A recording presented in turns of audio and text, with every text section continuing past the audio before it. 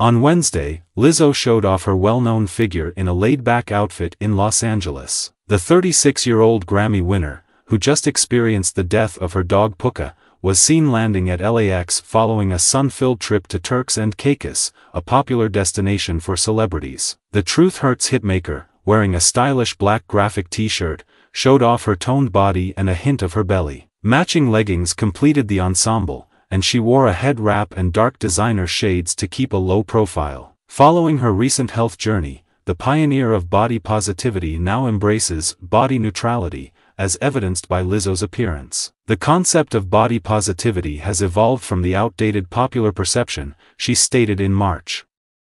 The state has changed to body neutrality. Through her lyrics, she has glorified her body, and on Instagram, she has posted affirmations addressed to her stomach. She acknowledged, though, to the New York Times that it's not always possible to love oneself. She vowed not to lie and claim that she loved her body every single day.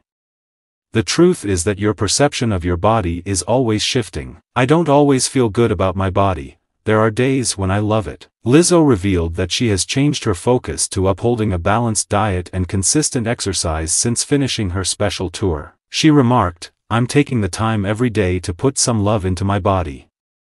I never regret going for a walk or working out at Pilates. I've been losing weight very slowly, methodically, she continued. Lizzo has indicated that she is back in the studio working on new songs, even if she hasn't formally confirmed the release of a new studio album. Lizzo was deep into the songwriting process when she posted a video of herself in January, singing into a muffled microphone. The artist hasn't released any new music since releasing Special in July 2022, which included the hits About Damn Time and To Be Loved, Am I Ready? Lizzo won her first major category in February 2023 when she won the coveted Record of the Year award at the 65th Annual Grammy Awards with her song, About Damn Time.